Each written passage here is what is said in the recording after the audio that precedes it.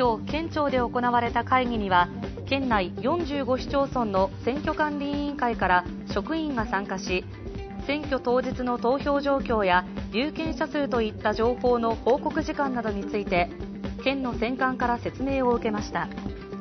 その後投票日に使用する記号式の投票用紙合わせて115万4700枚が各市町村に配られました。投票は候補者の名前の上の空欄に丸印をつける形式です。